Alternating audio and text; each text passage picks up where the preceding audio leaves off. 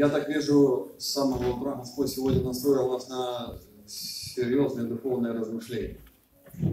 И я продолжу также читать об этом и размышлять о духовных вопросах.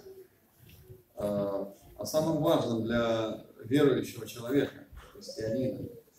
Вот когда первый проповедник говорил о том случае, когда Христос говорил, обращался к ученикам, говорил им о духовной пище, они еще не до конца понимают, э, о чем речь идет.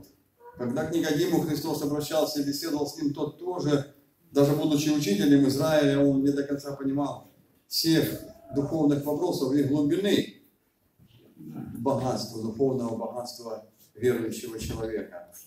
И э, уже после Пятидесятницы, после обетования Божьего, когда Дух Святой излился на учеников и апостолов, многие духовные вопросы открылись в полной мере.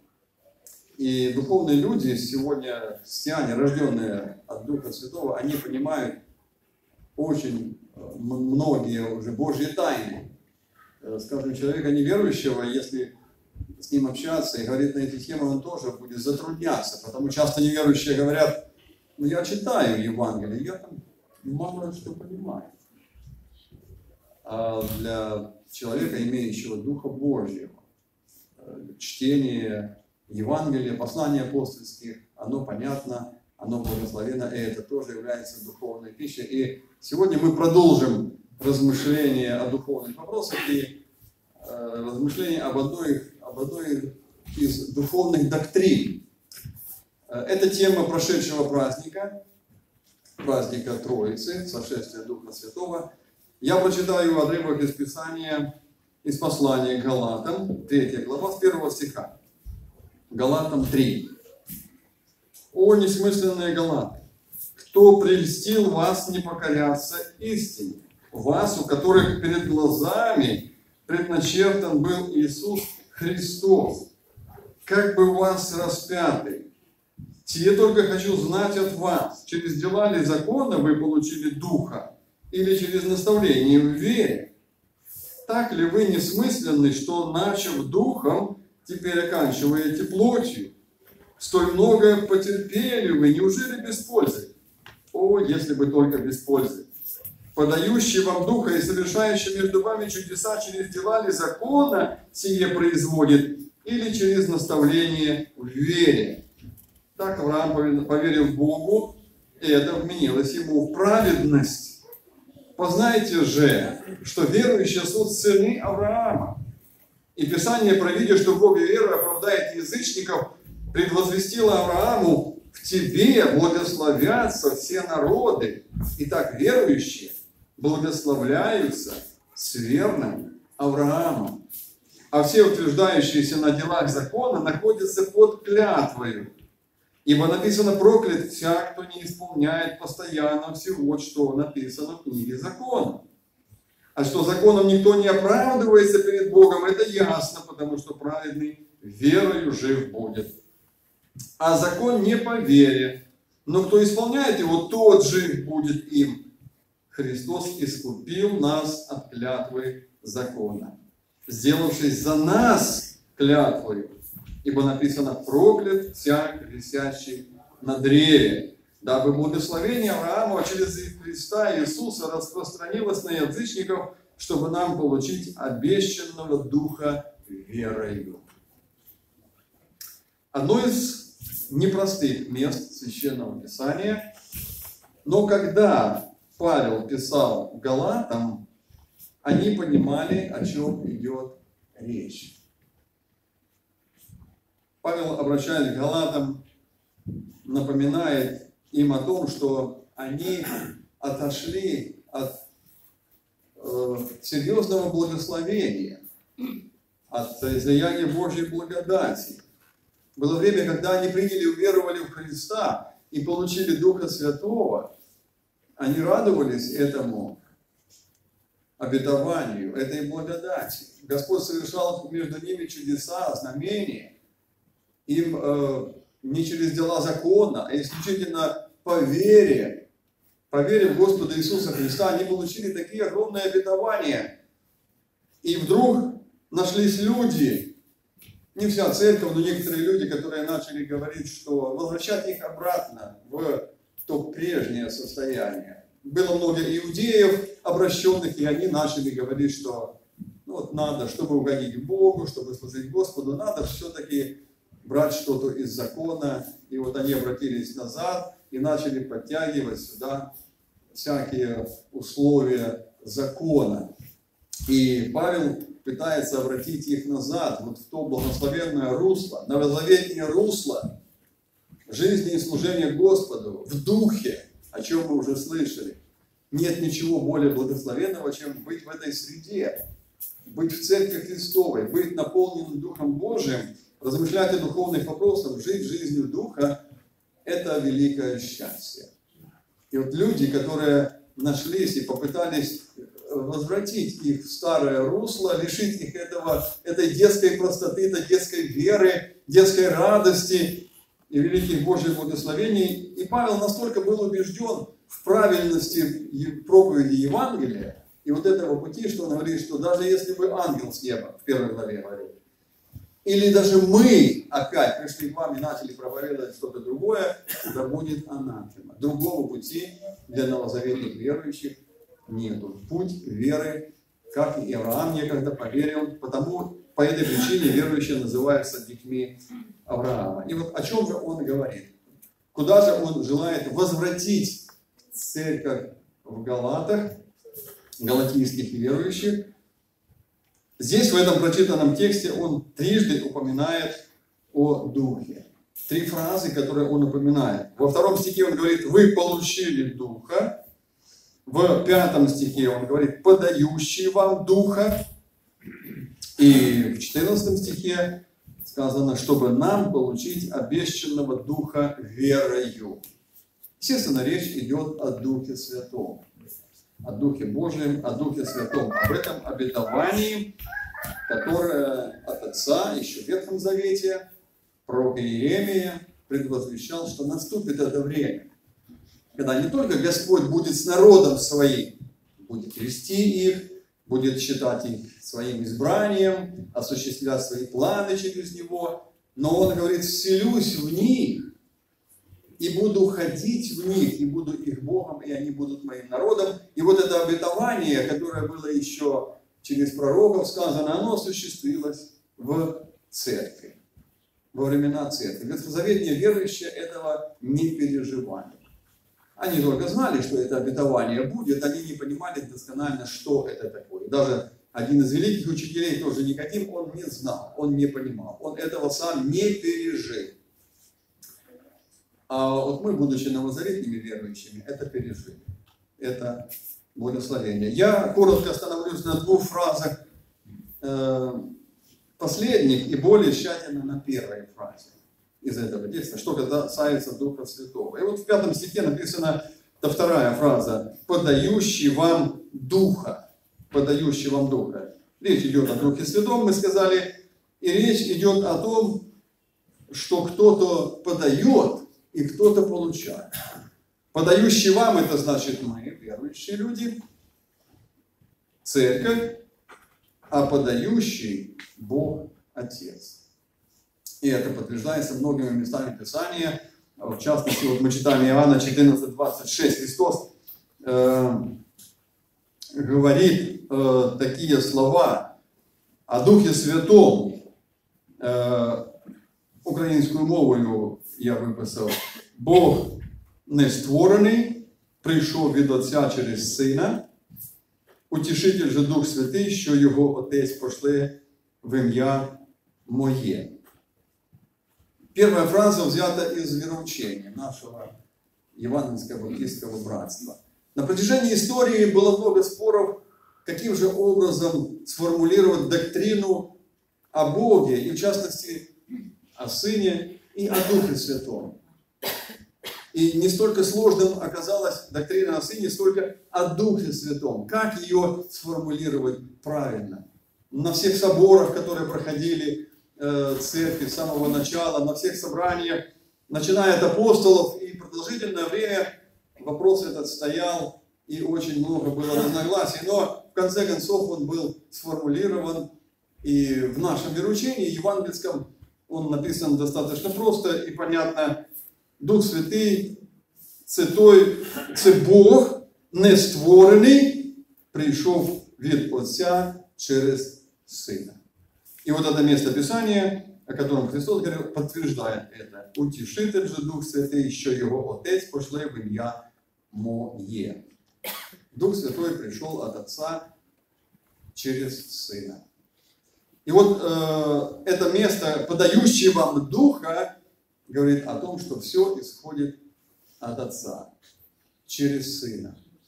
И здесь доктрина о Троице, о Боге Отце, о Боге Сыне и о Боге Духе Святом. И правильное его понимание. Вторая фраза в 14 стихе написано, чтобы нам получить обещанного, обещанного Духа верою.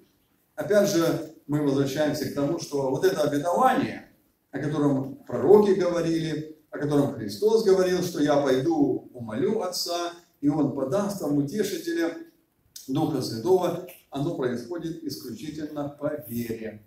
Вообще в жизни верующего человека все происходит по вере.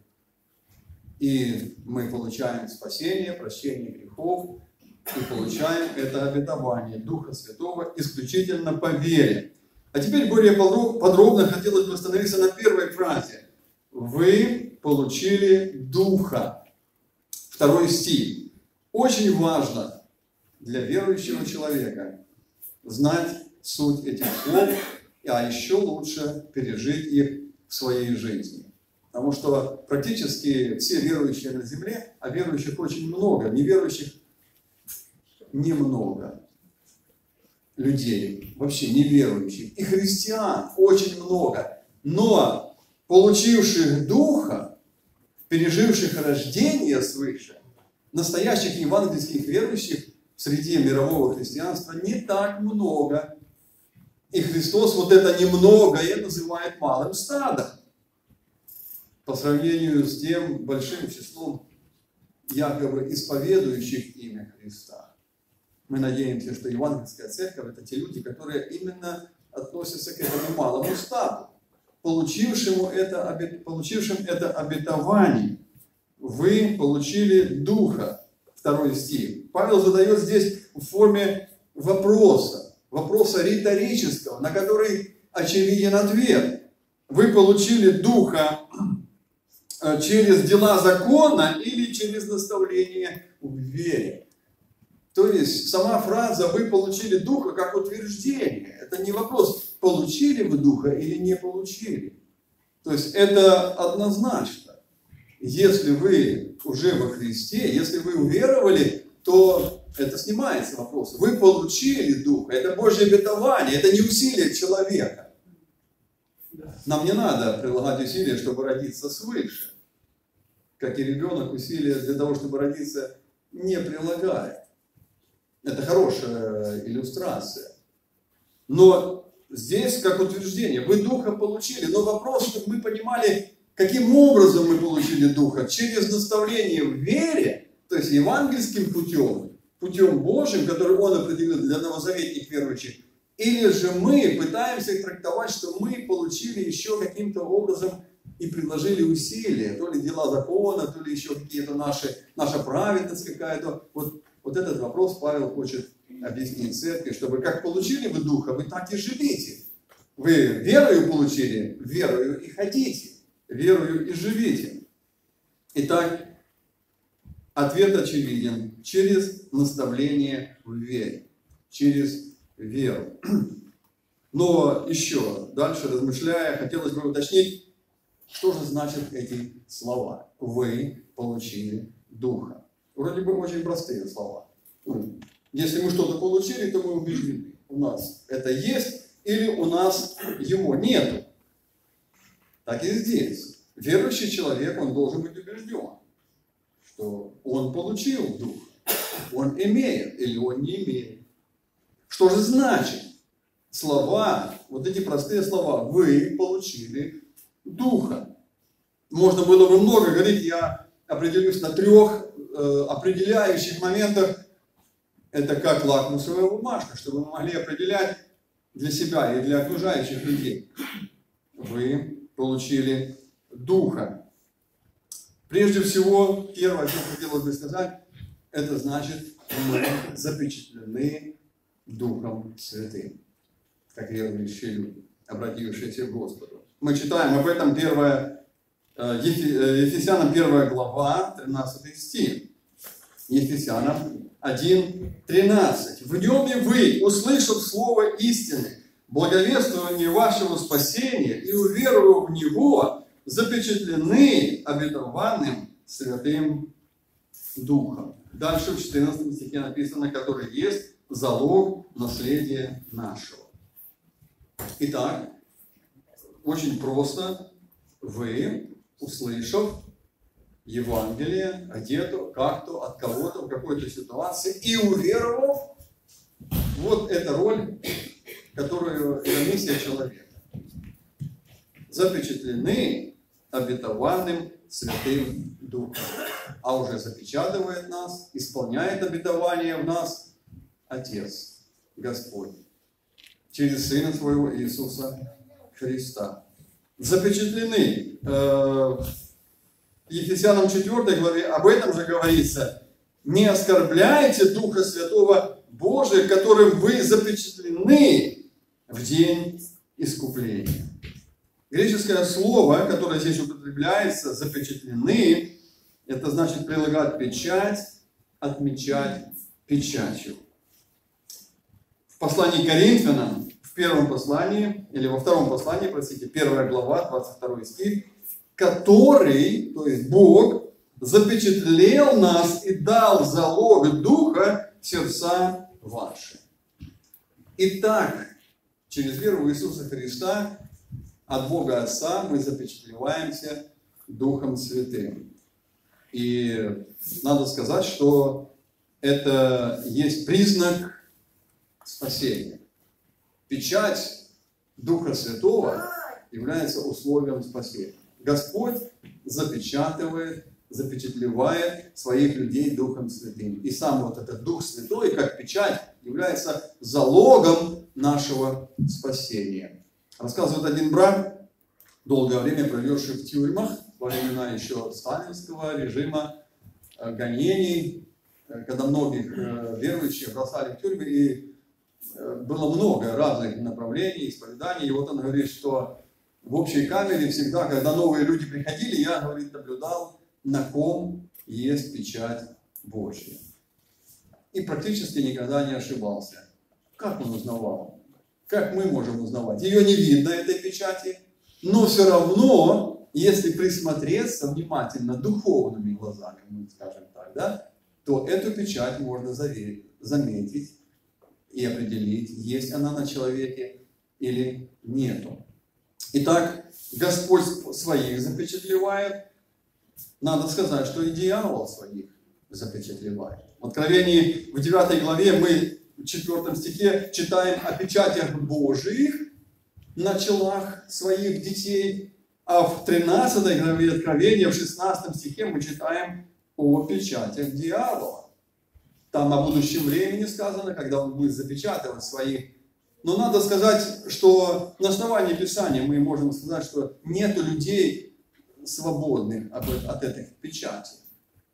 Человека свободного нету. Он или раб Господа, и запечатлен печатью Божьей к спасению вечному, или он раб лукавого и запечатлен его печатью.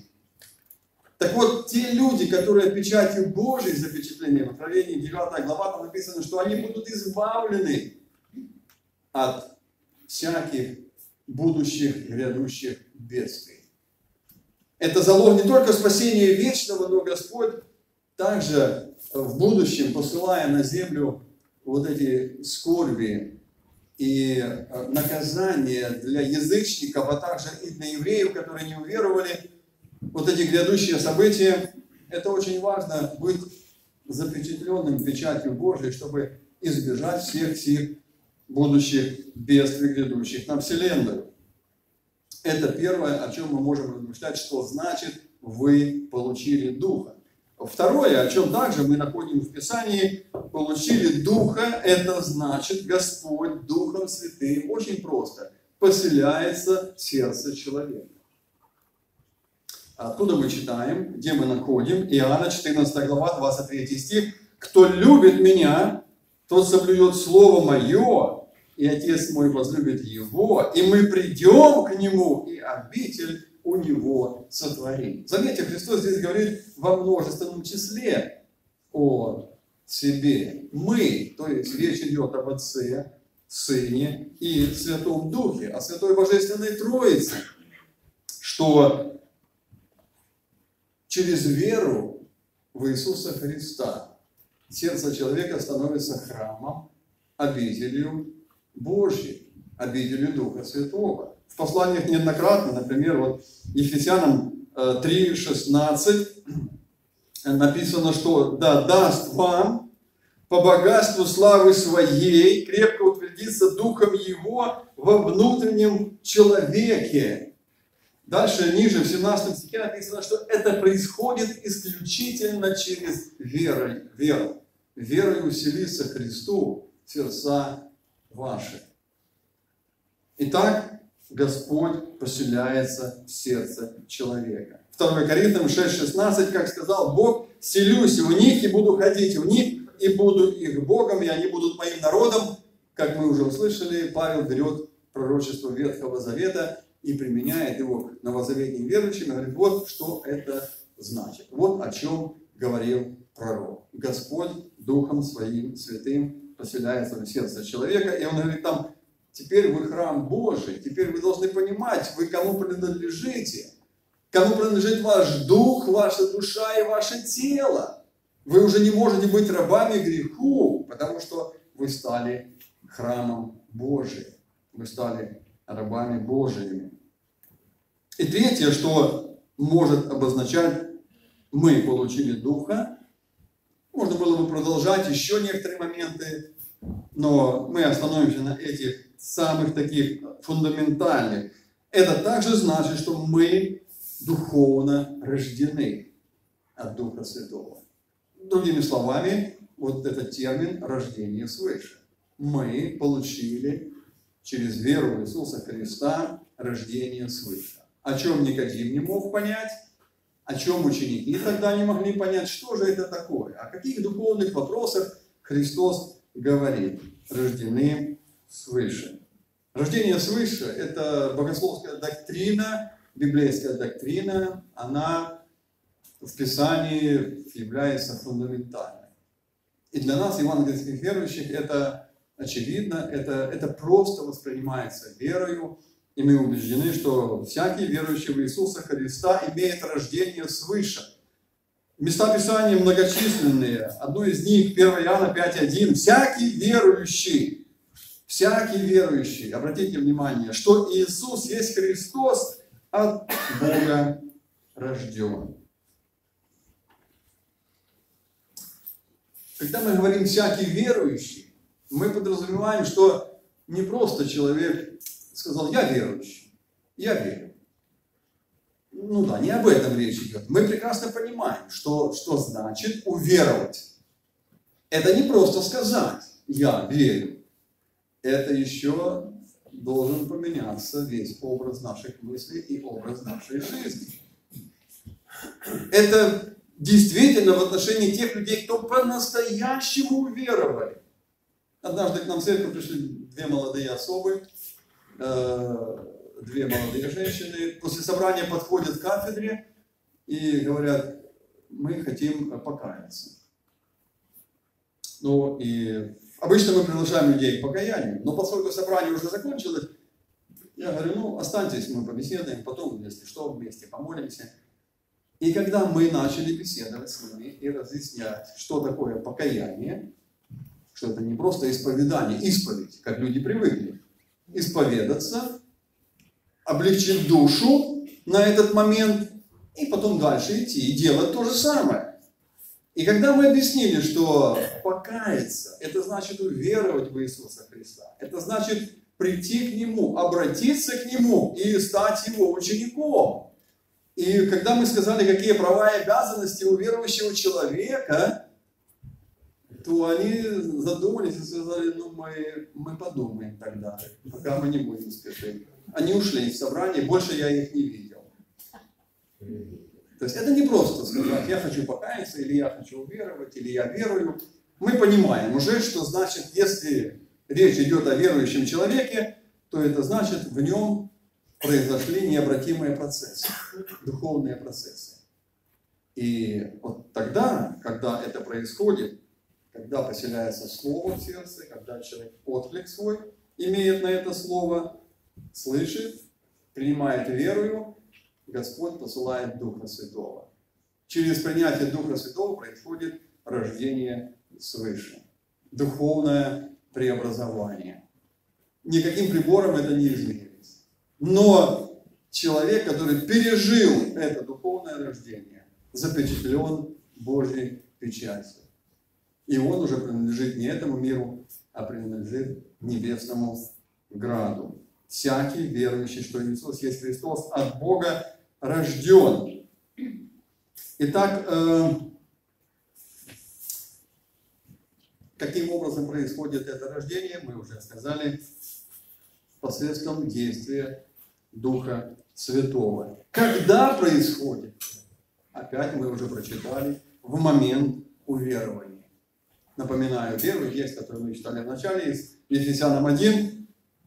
Э, в нем вы услышав слово истины, благовествовали спасения и уверовав в него, запечатлены обетованным Святым Духом. Итак, в момент уверования.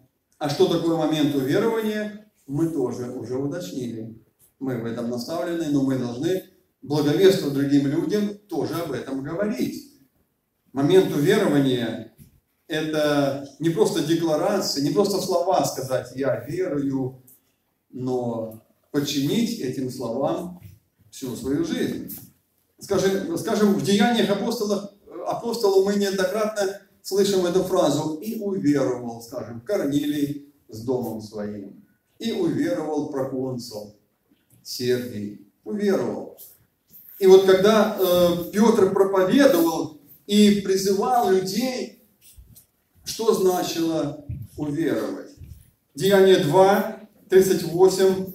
В одном случае он говорит, покайтесь и докрестится каждый из вас во имя Христа для прощения грехов. То есть он говорит о покаянии и о водном крещении. В третьей главе, в 19 стихе, он говорит во время следующей проповеди, так покайтесь и обратитесь, чтобы загладились грехи ваши. Да придут отрады, времена отрады от лица Господа, и пошлет Он предназначенного вам Иисуса Христа. Здесь он говорит о покаянии и обращении. И мы прекрасно знаем, часто проповедник употребляет вот это греческое слово, которое не совсем удачно переведено на русский язык. Покаяние. В оригинальном тексте оно обозначает не просто исповедание словесное, но это значит обращение. Это значит перемена образа мыслей и перемена образа жизни. Итак, вот эти духовные моменты происходят с верующими людьми. Еще бы, когда бы мы размышляли дальше о действиях Духа Святого в жизни верующего человека, мы бы о многом говорили, это уже темы отдельных проповедей, потому что в момент уверования – помимо того, о чем вы уже сказали, человек запечатлевается Духом Святым, человек рождается свыше от Духа Святого, человек, э, Бог поселяется в сердце его Духом Своим. Еще можно говорить о таких моментах, как прощение грехов происходит, происходит искупление, происходит усыновление, происходит оправдание. Все освящение начинается с этого момента, нам подсказывает. Есть моменты, когда мы говорим о крещении Духом Святым, об исполнении Духом Святым. Итак, вот пару слов о крещении Духом Святым. Написано, что все вы одним Духом крестились в одно тело. Это говорит о том, что в жизни верующего человека это одномоментное событие, которое о котором говорится как о прошедшем времени. То есть, если вы уверовали, если Господь уже поселился Духом Святым, вы крещены Духом Святым. Итак, первое посещение человека Духом Святым, а это происходит в момент обращения, это и есть наполнение его Святым Духом. Это есть и крещение Духом Святым. Дальше жизнь, которая должна сопровождаться исполнением Духа Святого. Человек, крещенный Духом Святым, рожденный от Духа Святого, водимый Духом Святым, он постоянно должен исполняться Духом Святым. О чем и написано в Ефесянам 5, 18, вы исполняетесь Духом Святым. В контексте не упивайтесь вином, но исполняйтесь Духом.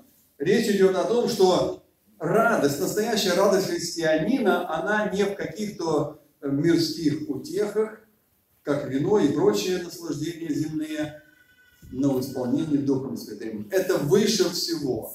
Это жизнь наша, это источник нашей радости. И это все то, что доступно каждому верующему человеку. Пусть Господу будет слава за эти размышления, за это собрание, за то, что Господь с нами и ведет нас к вечности. Слава Ему. Аминь. Помолимся.